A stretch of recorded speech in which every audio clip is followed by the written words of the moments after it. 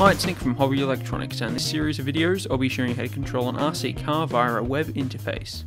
Using the method that I'll be showing you, we won't need to use the RC receiver, so I'll be removing that. To host the web server, I'll be using a Raspberry Pi and an Arduino to interface the Raspberry Pi with the RC car's motor controller.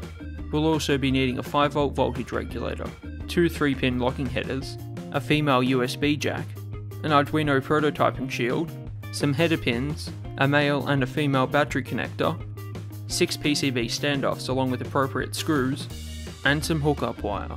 I'm then going to begin the assembly by positioning the components on the board.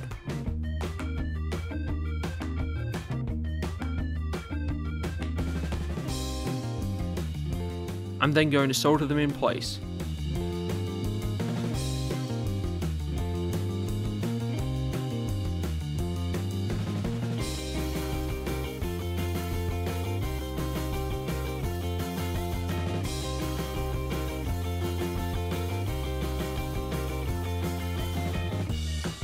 I'm then going to follow this wiring diagram to make all of the appropriate connections. I found that tinning the ends of the wires first allowed me to solder them to the board easier. Once I've soldered all of the wires in place, I'm then going to solder the header pins in. I also made up a cable that goes between the battery and the motor controller. This allows me to add two extra wires that I'll be using to provide power to the 5V regulator. I also soldered and placed those wires to the regulator. In part 2 we'll be installing the server and turning our Raspberry Pi into a wireless access point.